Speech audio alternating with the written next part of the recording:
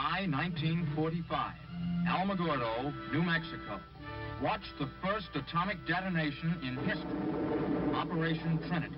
The long series of nuclear tests is underway. July 1946, Operation Crossroads. Bikini Atoll in the mid-Pacific. The war over, scientists and military personnel busy themselves setting up a target of ships for the first peacetime test of the atomic bomb. High-ranking military personnel and civilian observers watch the able shot. 19 kilotons, burst 516 feet above the surface of the lagoon. Damage to the target array is assessed and preparations are underway for the Baker shot. The bomb, similar in type to the Able test, is located in an airtight caisson beneath the surface of this tropical lagoon. With all preparations made, Baker shot occurs on schedule.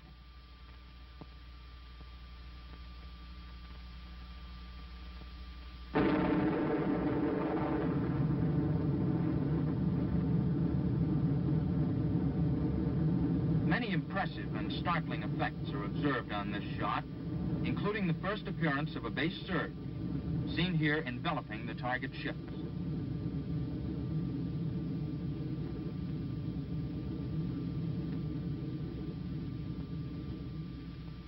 April 1948, Eniwetok Atoll in the Pacific. Our third nuclear test program gets underway. Operation Sandstone. Three weapons, fired on 200-foot towers, with batteries of scientific instruments to record results. As at Bikini, drone planes are used here. Giant planes, heavily instrumented but without crew, take off to fly through the heart of each atomic cloud to collect samples of that cloud for detailed radiochemical analysis.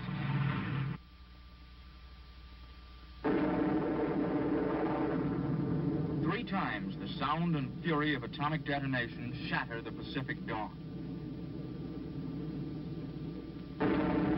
Three times a scientific laboratory is created to study previously unattainable effects of high temperatures and pressures. But what did we learn from these detonations? What were we trying to prove? Why did we expend this almost priceless nuclear material and these thousands of man-hours of labor? Let the men of Los Alamos give us the answers. We returned to the Hill from the sandstone tests with new and important information. Information that would enable us to make a sizable contribution to the generally rising curve of man's knowledge of atomic weapons. Information that would help us tackle basic problems involved in high explosive systems, pit designs, core arrangements, initiators. Information that would enable us to increase the small percentage of active material that actually burns during fission. The more efficient use of fissionable material has been and continues to be one of our main objectives. For it is the fissile material itself, whether uranium-235 or plutonium, that is the expensive, the elaborately complicated material to produce. The nuclear material is the heart of all our attempts to make bombs economically feasible. At Trinity in 1945, we proved a self-sustaining reaction could become an explosive force and that the implosion principle was sound. We had a starting point. The drops on Japan were strictly a war measure. At Hiroshima, we tried the gun principle and also used uranium for the first time. The Nagasaki weapon was an implosion type using plutonium. Little or no controlled experimentation was possible. Thus, little data was obtained which furthered the progress of weapon design. As a result of the Japan detonations, the effects from an atomic explosion became of prime concern to the armed forces. Thus, Crossroads using an implosion system. At Crossroads, since we were mainly interested in testing naval materiel, little data was obtained from the Able and Baker shots on weapon development. However, significant effects knowledge was obtained. Stateside laboratory research, in the meantime, developed new weapons for the sandstone tests.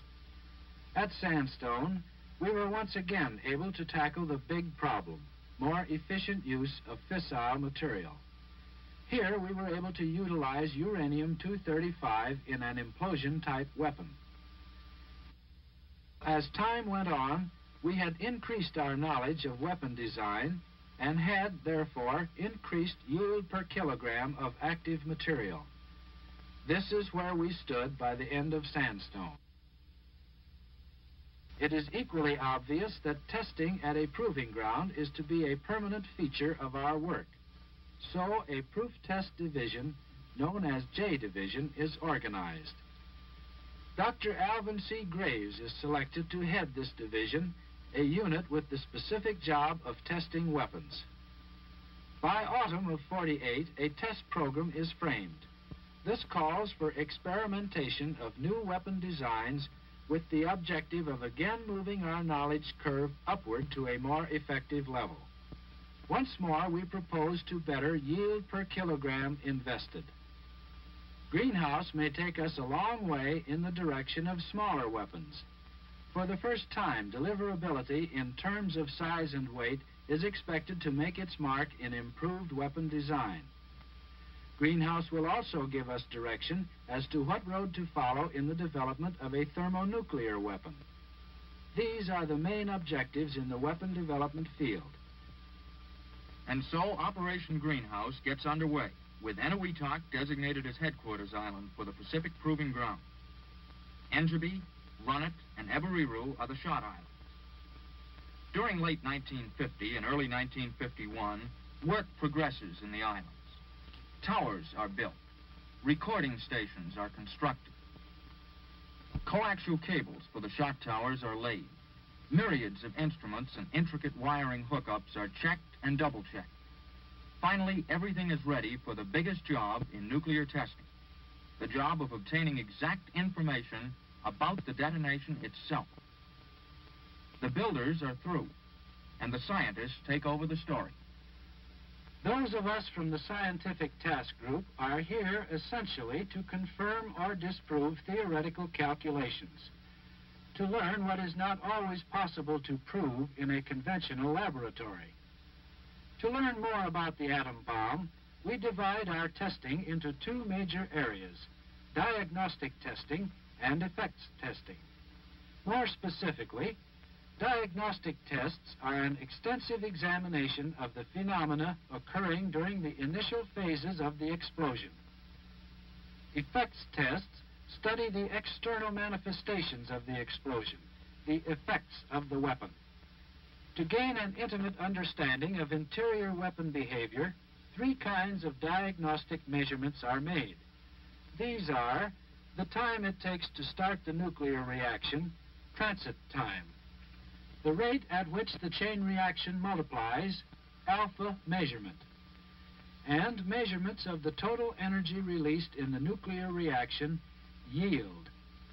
Most of the diagnostic data is available only during the early microseconds of the nuclear reaction, and extensive instrumentation is required for each detonation. Transit time data, which gives information on the HE system, is cabled down to a recording station and measured by sweep oscilloscopes. Transit time instruments are wired into the same circuit that triggers the detonators of the weapon. Because they are activated by the same impulse, they can literally measure the duration of the implosion or the time necessary to condense the nuclear material to criticality. Transit time is the interval, then, between the impulse and the appearance of the first gamma ray, which signals the beginning of the fission process.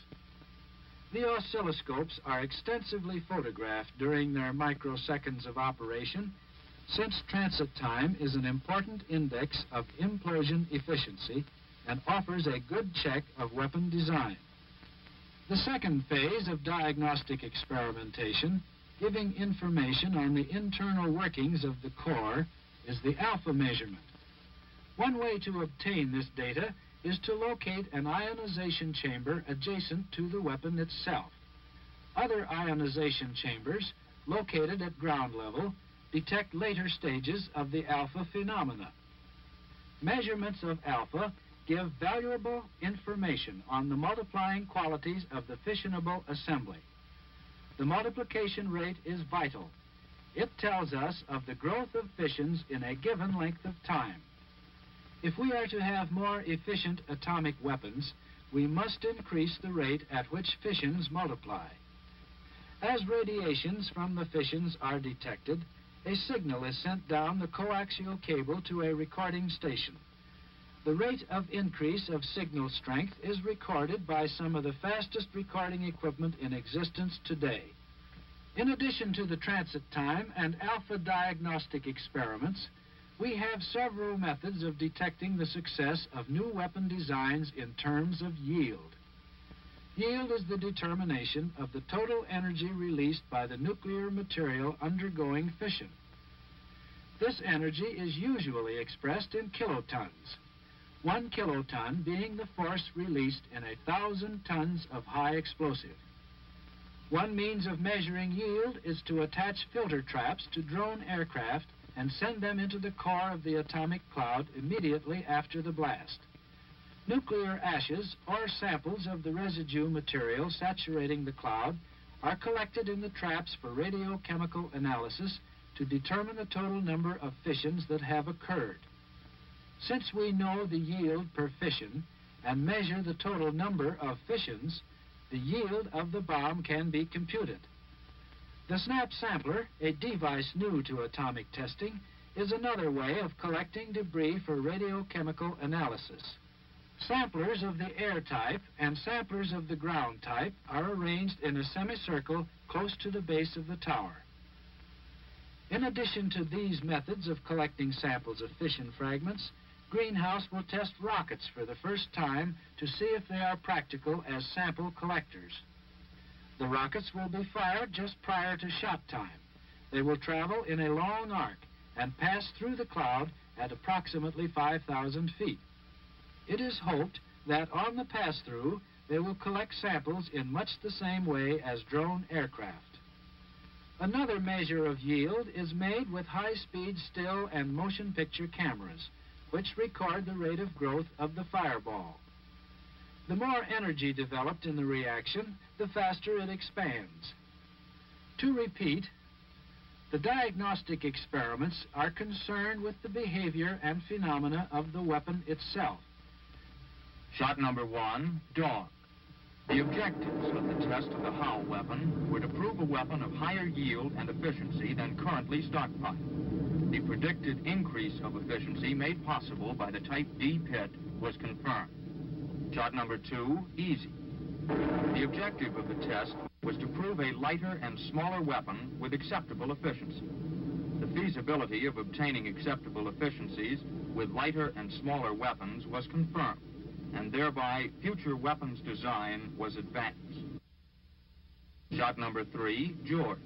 A step was taken along the path to thermonuclear weapons by the achievement of a fusion reaction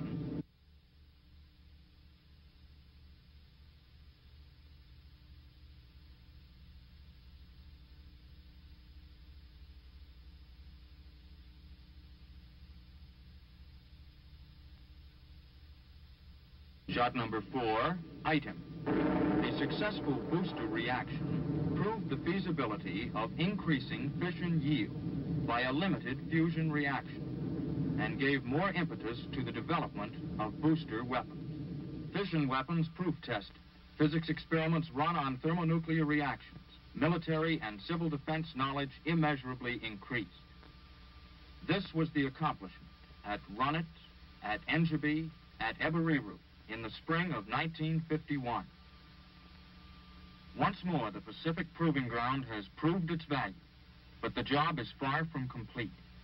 Each test series leads inevitably to new developments requiring still more tests, more frequent than are practical at distant and Eniwetok, where logistic problems make it difficult to run more than one test a year. We need a site much closer to home, a site in the continental United States, But where? For a long time, as a matter of fact, ever since Trinity, men from Los Alamos had been eyeing the great barren stretches of the Southwest. This region, for the most part, fits the bill. A range remote from civilization, isolated, forgotten as the names of the men who once made their fortunes here. In the pre-dawn hours of January 1951, this long deserted countryside came once more into international focus with Operation Ranger. The test of five atomic bombs. Five successful airdrops that saved the weapons research program months of time, considerable money, and helped Los Alamos prove the radical new idea of small atomic bombs. Soon after Ranger, another use of the Nevada test site was apparent. This was a chance for the military to get more information in a shorter space of time on the effects of atomic weapons. Vital facts. For what good are atomic weapons without full knowledge of what they can really do and how we can be protected against their effects? Thus, Operation Buster was born. In the fall of 1951, the combined operation Buster Jangle was held at the Nevada Proving Ground.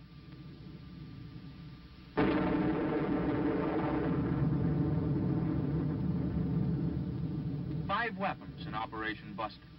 One on a 100-foot tower and four air.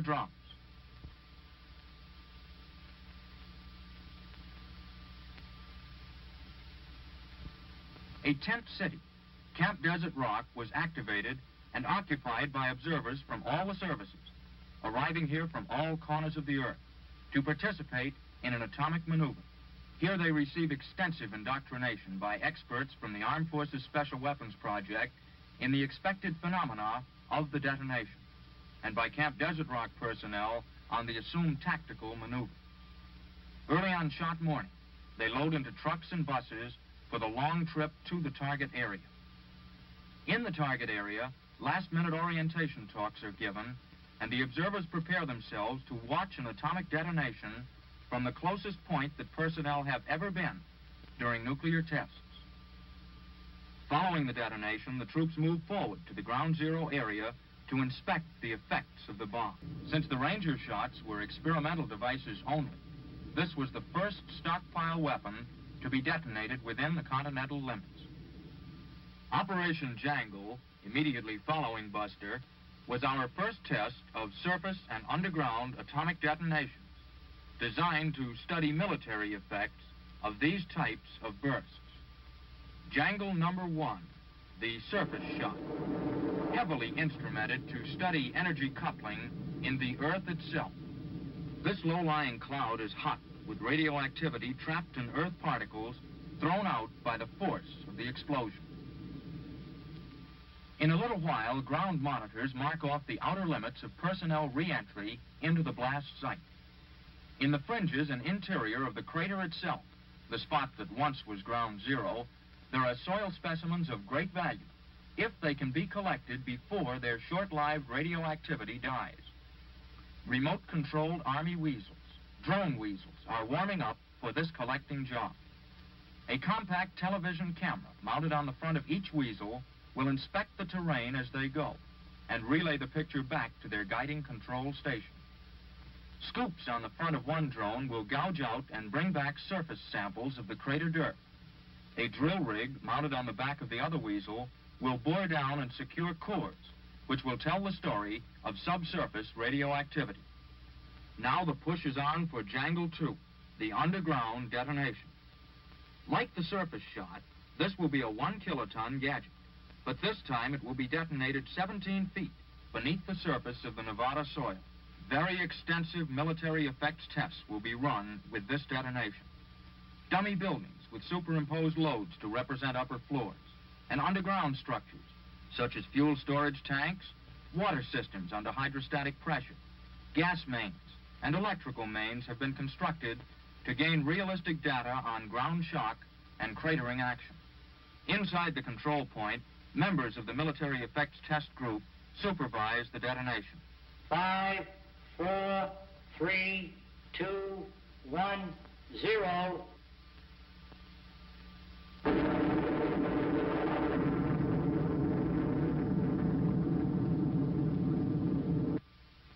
After the detonation, test structures are studied, and the many scientific and military personnel involved return to their home bases to evaluate the results of the operation. After the seven shots of Buster Jangle are complete, the test area lies dormant, waiting, ever ready for future tests. Our proving grounds, Eniwetok and Nevada, stand ready to aid the scientists and the military in their job of preparedness, of developing weapons and doctrine for any possible future atomic war.